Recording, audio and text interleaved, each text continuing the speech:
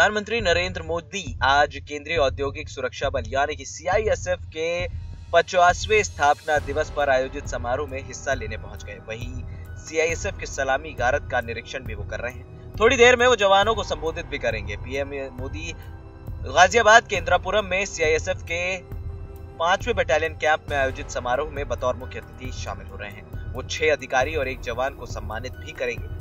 PM Modi भारतीय वायुसेना के हेलीकॉप्टर से आयोजन स्थल पर पहुँचेंगे।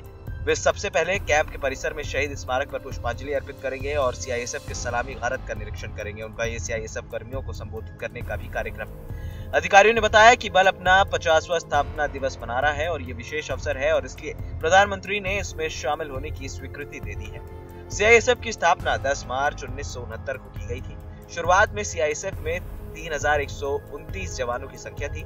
इसकी स्थापना संवेदनशील इकाइयों को सुरक्षा प्रदान करने के लिए किया गया था। मौजूदा समय में सीआईएसएफ के जिम्मे दिल्ली मेट्रो और आईजीआई सहित देश भर के प्रमुख उनसठ एयरपोर्ट की सुरक्षा सहित प्रमुख सरकारी इमारतों परमाणु संस्थान, ऐतिहासिक इमारतें, अंतरिक्ष केंद्र और वीवीआई सुरक्षा भी है।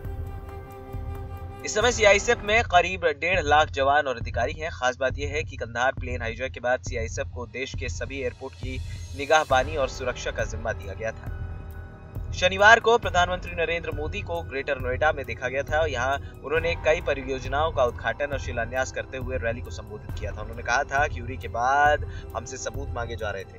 पुलवामा हमला हुआ तो भारत के वीरों ने जो काम किया, ऐसा काम दर्शकों तक नहीं हुआ। उन्होंने कहा था कि हमारे वीरों ने दहशत गर्दों को उनके घर में घुस के मारा। रात के करीब तीन बज गए, हमने देश को नहीं जगाया, लेकिन पाकिस्तान की नींद उड़ गई। पाकिस्तान इस कदर घबरा गया था कि पाँच बजे ही चिल्लाने लगा कि मोदी ने मारा, मोदी ने मारा।